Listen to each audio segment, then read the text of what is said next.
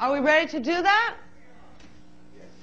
Oh, well then I'll see you in a few minutes.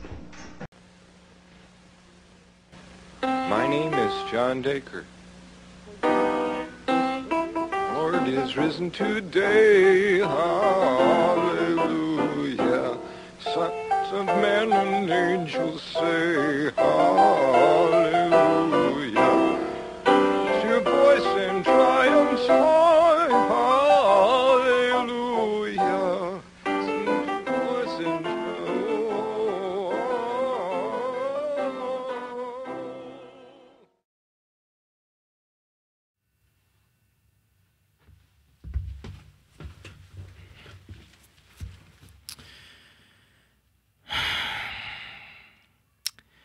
And welcome to the Oddity Archive. If you remember, on our last episode, we made a little crack about blip.tv.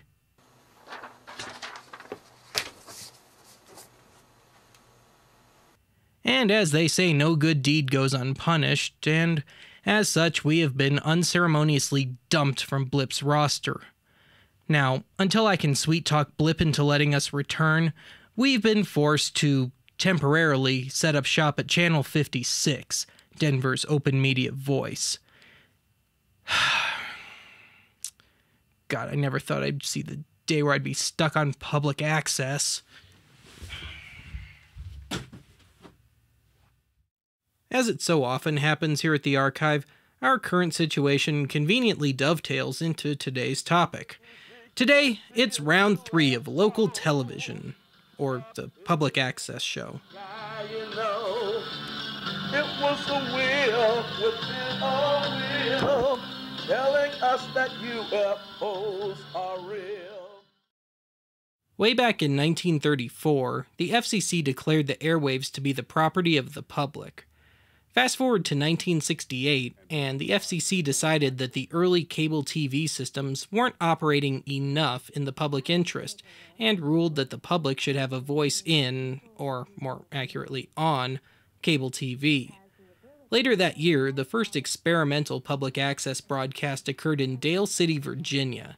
In 1972, the FCC mandated that the top 100 cable markets were now required to have three public access channels as part of their service one for public use, one for educational use, and one for government affairs, or the PEG rule as it's known, i.e., public, educational, and government.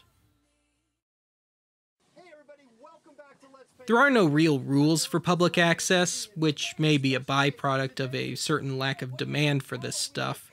Because of this, a fair chunk of public access attracts, shall we say, outsiders.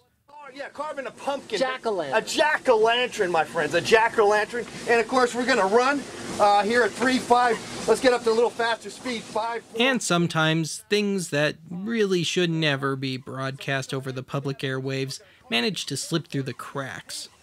For example, have you ever heard of the Great Satan at Large? Hail Satan. Righteously, mother. You have now. be of the consciousness. From where I stand, most of the stuff on public access is garbage. Yes, it attracts some fairly eccentric folks, and it can be superficially weird, but more often than not, it just does not equal interesting. And the quote unquote normal people it attracts are about as exciting as dishwater. To me, most of public access feels like somebody really wanted their own show, got their own show, and then had absolutely no idea how to fill their show. For example, Hi. Gay is not sin, and Jesus isn't asking the gay person to change and be straight. Se llama Salvador Dali. Todos dicen, hi Dali. Hi Dali. Gracias, gracias, gracias, gracias. sí. You're coming to the line of the ride, the hell ride. We were showing you images and everything else, so please keep your hands inside the car. I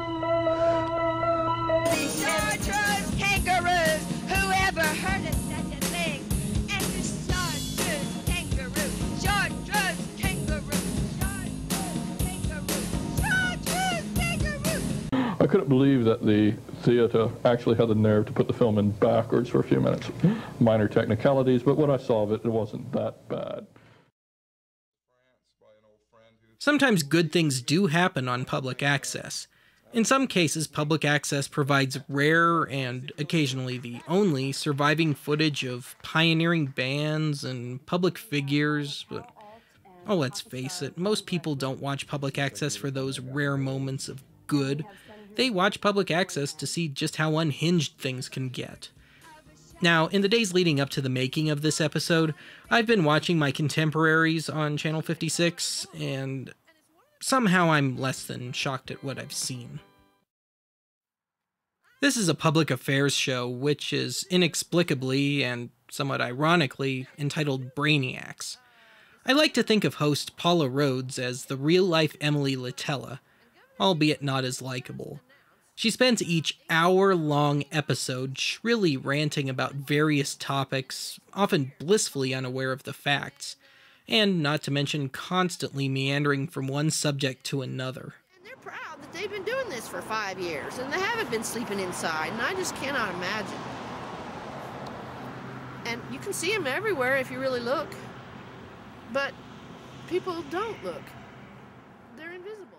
This is one of those shows where if you've seen 30 seconds of it, you've seen the entire series. It's about to be bulldozed for a Walmart that the neighborhood doesn't want.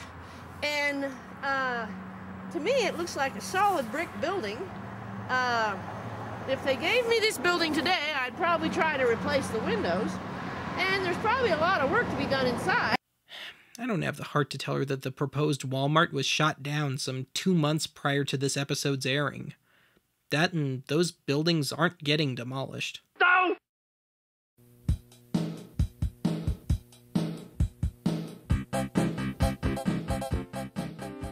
This host calls him, or herself, Sister Who. Apparently, no relation to the good doctor. Sister Who is a gay, cross dressing, quote unquote, nun who, no pun intended, is the alter ego of Reverend Denver Navarre. We're not sure of what faith the good Reverend subscribes to, though. Plus, we're pretty sure that the Denver Navarre name is an alias as well, which would make that an alias of an alias. Unfortunately, this show is a lot more interesting on paper than in practice. This opening sequence is far and away the most interesting thing about this show.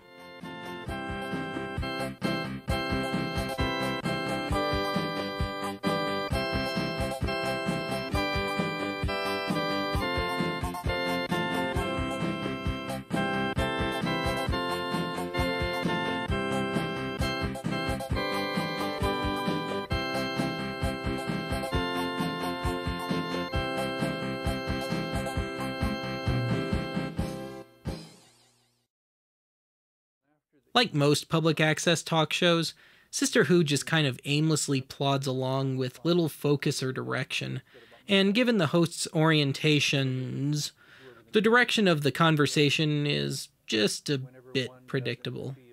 So it begs the question who is the intended audience here? The conversation is dry and motionless, it sheds no new light on its admittedly narrow topic range, and while it has a slightly surreal bent to it, it's just not enough to make it enjoyable, even in an ironic hipster sense either. Or maybe I'm just upset that I can't seem to effectively riff this show. So that you have a transsexual woman who has children with another woman. As myself. Uh, um, in fact, as of today, uh, in another 14 days, we'll s- celebrate our 40 years of marriage. Okay. Uh, Now, that you and she decided to continue the marriage? yes, uh, of course, I always did, and she.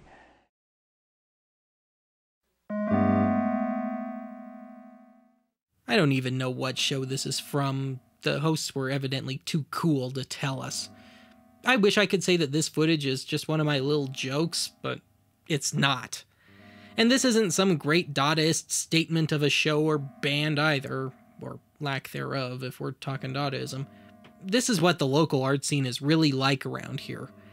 That and you can walk into any independent Denver record store and hear this at ear splitting levels over the PA.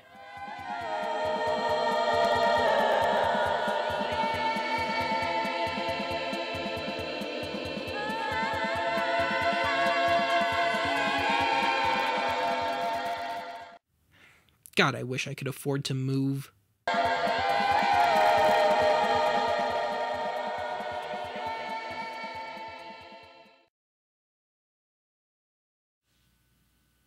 Some reason, this particular public access channel requires all its shows to be interactive to some degree, which means we have to take a few calls. What could possibly go wrong? Archive. You suck big dick! Uh, archive. Hello, baby. Hi. It's so good to hear your sexy voice again. Thank you. Archive. Hi. Hi. Is this Mary? What? Wanna? Mary Wanna? Oh, Archive. Thank you. I hate my life. Oh, uh, hey, Ed, how long is this segment supposed to run? Oh, God. Ben's private hell. No waiting.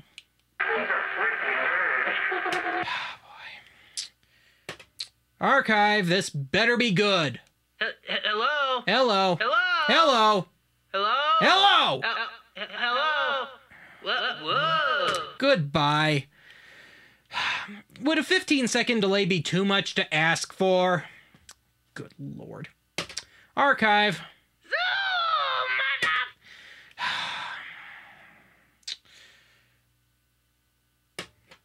What do you want? Ooh, I'm so angry. Ooh, ooh, fear me. Oh dear, our phone seems to have gone down. Gosh darn it, we're gonna have to cut this segment short. Oh well. We'll be right back.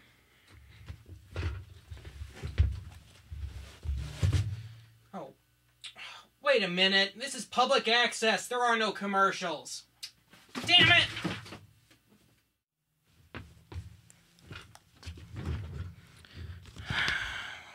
All right. Now I'd like to discuss my personal favorite public access show. Before American Idol and X Factor and America's Got Talent and all those other soon to be extinct pieces of crap, you had Stairway to Stardom. And mark my words, it will return and run the aforementioned shows out of business.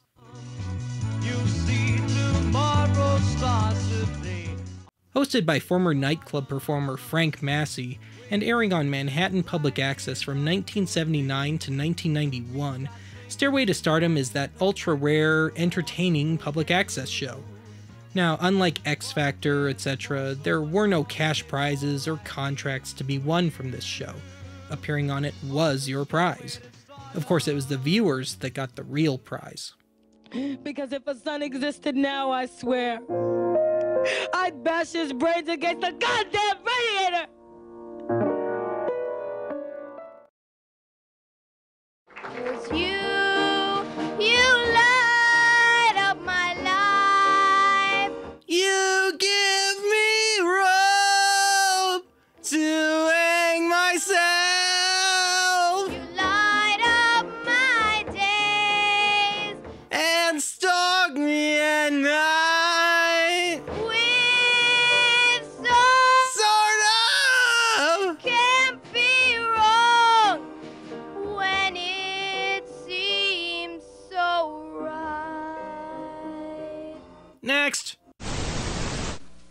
Beautiful nylon shag carpeting starting at only 77 cents per square foot.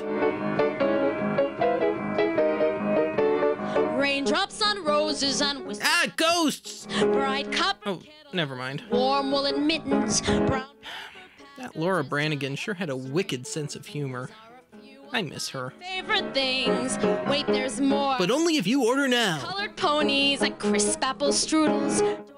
You know, I think I saw this woman perform at my Uncle Vito's, I believe, fourth wedding. These are a few of my favorite things. I think I'll talk over here to the West Coast. On behalf of the almost West Coast, please don't. Sashes, snowflakes that stay on my nose and eyelashes. You know, the kind of snowflakes that were so prevalent back in the 80s. These are a few of my favorite things. When the dog bites, oh, when the bee stings.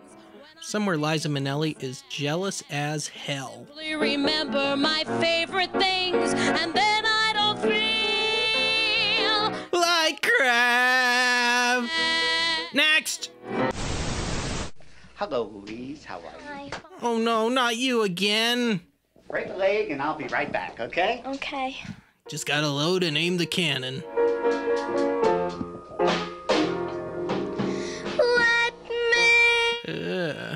Entertain you. Ah, she can see me! Let me make you smile. From here to here with a knife. Tricks, some old and then some new tricks. Hey, hey, don't don't block the shot of that hot drummer. Move, move, move.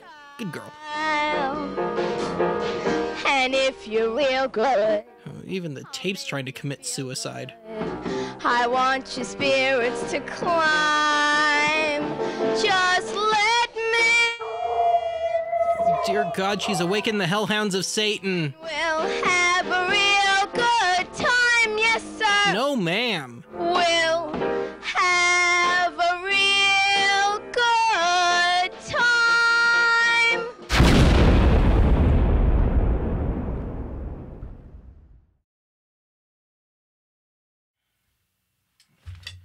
Forgot to get dressed last time. Oh well.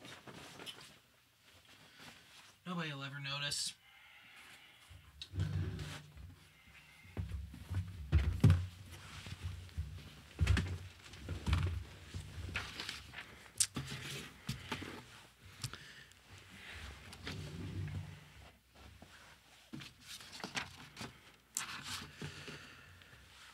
Well, uh, I, I've just been informed that the powers that be require we have a guest on every show.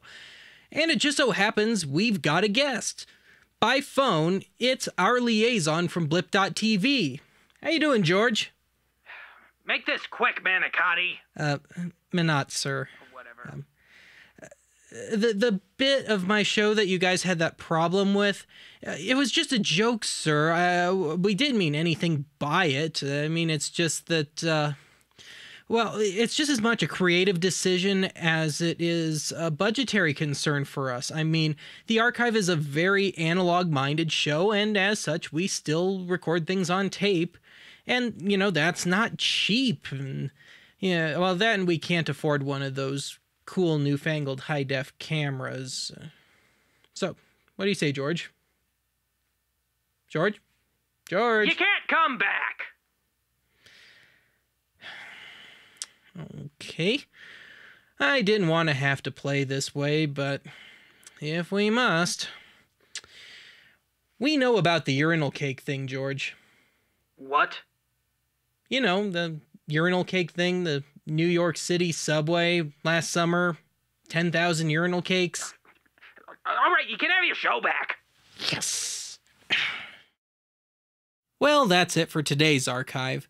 Join us next time as I coax the legendary Henrietta and Myrna Newdorf out of retirement for the ultimate reunion gig.